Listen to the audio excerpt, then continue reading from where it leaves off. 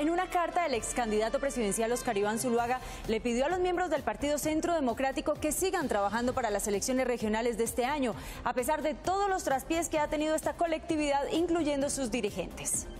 El ex candidato presidencial Oscar Iván Zuluaga, por medio de una carta, le pidió a los integrantes del partido político Centro Democrático que sigan trabajando pese a los problemas por los que atraviesa el partido. Zuluaga reiteró que el llamado a interrogatorio que emitió la Fiscalía es una clara persecución política en su contra y de sus colaboradores. Estamos pasando por una coyuntura de agudizada persecución política en contra de nuestro partido en este caso contra mí, mi hijo David y Luis Alfonso Hoyos. Por eso quiero invitarlos a que en este momento difícil para la democracia colombiana y para el Estado de Derecho, renovemos nuestro amor por Colombia. En la carta, Zuluaga aprovechó la ocasión para hacer oposición al proceso de paz, pues este recalcó que para los opositores del gobierno Santos la ley es estricta, pero para los miembros de grupos armados se buscan beneficios. Le pido a Dios que Colombia no caiga en criminalización de la oposición política mientras se promueve todo tipo de beneficios y concesiones para los terroristas que han causado tanto dolor y muerte de nuestro país. El llamado al Partido Centro Democrático se da después de que Oscar Iván Zuluaga anunciara que sí asistirá al interrogatorio al que fue citado por parte de la Fiscalía.